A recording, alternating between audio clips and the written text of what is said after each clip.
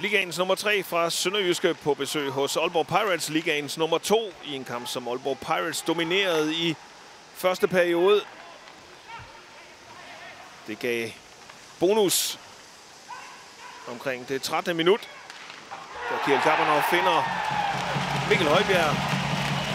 Så står der 1-0 til hjemmeholdet. En stilling, der holdt frem til tredje periode, hvor Sønderjyderne pressede på. Og så var det Nikolaj Krav, der scorede for Sønderjyderne. 3,5 minut. Før tid troede man, at det hele skulle ende med stor jubel i Aalborg. Trevor Gooch får sidste stav på. Opspillet fra Thomas Belling. Så lugtede det af tre point til hjemmeholdet.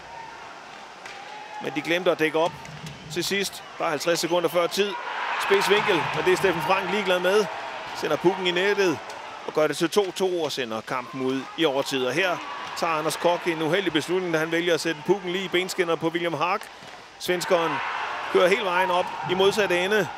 Og efter bare 37 sekunder spil af overtime, så er det Sønderjyderne, der kan juble. Efter fire nederlag på stribe, kan de endelig gå ud i omklædningsrummet og synge en sejrsang. Sønderjyske besejrer Aalborg Pirates med 3-2 efter overtime. Thank you.